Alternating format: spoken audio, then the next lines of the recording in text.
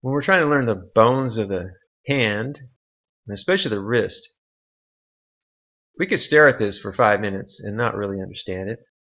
Or we could try drawing and learn it really well. So here's the capitate. I'm in the center, palm side up. So we just make a quick sketch of the capitate, big blocky bone. There it is, right in the center of the palm. So I'm going to say C for capitate. Right next to it is a bone that has a hook. So I think of hamate has a hook. H for hook, H for hamate. And you can feel this a little bit when you push down on your your hand, uh, part of the wrist. Then we have the pisiform, which is a P-shaped bone right there, nice and round. And under the pisiform is a bone called the triquetrum, and I'll talk about that in a little bit. There it is, triquetrum. Okay, so going over this capitate, C for center, hamate with a hook, H for hook, pisiform, the little P, and triquetrum, the one that's hard to say. Underneath these is the lunate, which is shaped like the moon, so that's its name lunate, la luna. There it is, crescent moon shaped, right at the base.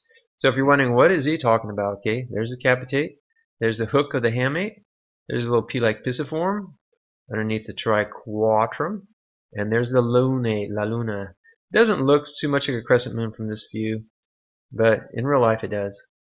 Okay, wrapping around on the thumb side is this huge bone called the scaphoid. And it is kind of S-shaped, so I think of S for scaphoid. And if you look at the scaphoid, it wraps all the way around and it's in a vulnerable position because here it is. Okay, here's the scaphoid, there's the thumb. When we fall, we're running fast, the radius, uh, the forearm bone is going to crash right into the neck of the scaphoid. And so when someone says, hey, I broke my wrist, it's often going to happen right here on the neck of the scaphoid. All right, so here's the thumb, just so we have some orientation. It's good to know, okay, where is he at? He's at the thumb right now. So on the thumb side, the bone right below the thumb rhymes with thumb, and that is the trapezium. Yeah, trapezium under the thumb. Okay, little bone there. And there it is here. You can see there's a thumb, there's a trapezium, scaphoid. Okay, you may be lost at this point, but hey, don't worry, because the drawing of this, uh, especially if you guys are drawing along right now, your brain is very active when you draw. Like tracing doesn't work as well. Staring at a picture, no. But drawing is very powerful. Okay, above these we have the metacarpals, which are the fingers. I'm not going to draw them all. I'm sorry, it's the main part of the hand, the metacarpals, there's the word. And now the fingers. We call these phalanges, that's a technical name. Now I know you might think uh, this does not look like a finger, but um, it's kind of fun. And again, my brain is very active, and I'm developing a memory for these bones. So distal, proximal. Sometimes it helps to add a little color. And so uh, if you experiment with colors, you can say, okay, well, I want to remember the pisiform, and so I'm going to color it red, pisiform. And then you might think, well, okay, um, I really like the scaphoid because it has a good story, because that's one that breaks. If we're running and we fall down, and our forearm is going to crash into it. It's better if you can roll. Maybe when you fall, I know it's not. I mean, that's not always desirable either, but you break a clavicle. But there is the big S-shaped scaphoid.